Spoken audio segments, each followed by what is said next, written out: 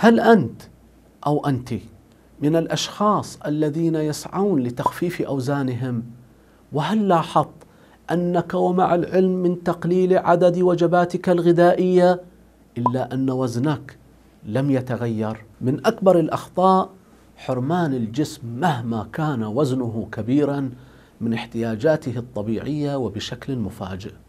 فعندما يحرم الإنسان جسمه من أي وجبة غذائية ولتكن وجبة الإفطار مثلا أو وجبة الغداء مثلا. كما يفعل الكثير فما أن يحين وقت العشاء إلا وهو متضور من الجوع. الأمر الذي سيدفعه لأكل أضعاف ما سيأكله لو التزم بأكل وجباته كاملة خلال اليوم. كما أن الجسم حينما يبرمج على عملية الحرمان من الغداء فإنه يقوم بشكل تلقائي بعمل دفاعي تلعب فيه الساعة البيولوجية في جسمه دورا مهما عن طريق تخزين أي أكل متناول دون حرقه بعكس ما يحصل أثناء برامجه الغذائية الروتينية. وبالتالي لن يكون هناك أي نقصان في الوزن بعد فترة من بداية هذا الأسلوب بمعنى أن الجسم سيقوم برد فعل دفاعي ضد الجوع وسيخزن الطعام لوقت الجوع فقط مع السعي لإيقاف معظم العمليات الأيضية الاعتيادية تاقلما مع قلة الطاقة المفترض الحصول عليها من التغذية المنتظمة.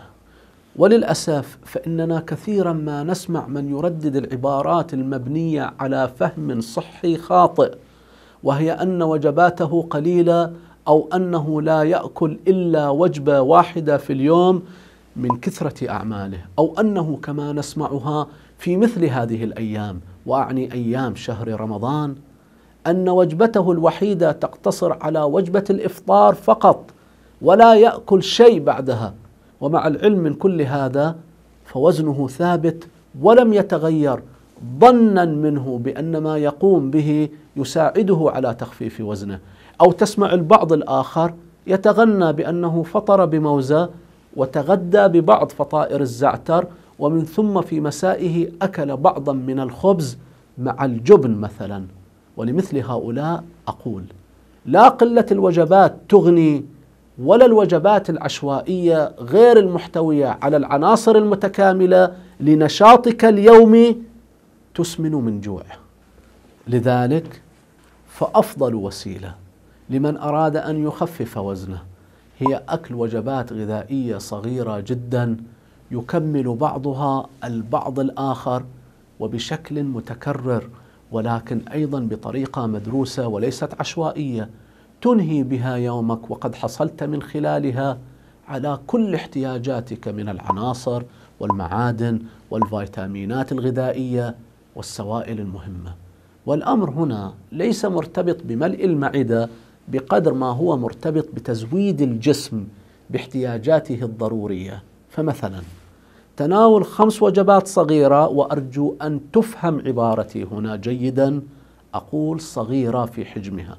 بمعنى أنها لا تملأ المعدة بل تترك ثلثها على أكثر الاحتمالات فارغة ولكن تكون بمكونات صحية متكاملة وأعني في محتوياتها مجتمعة يوميا. هذه الخمس الوجبات أفضل مثلا من تناول وجبة واحدة فقط وعلى هذا فقس.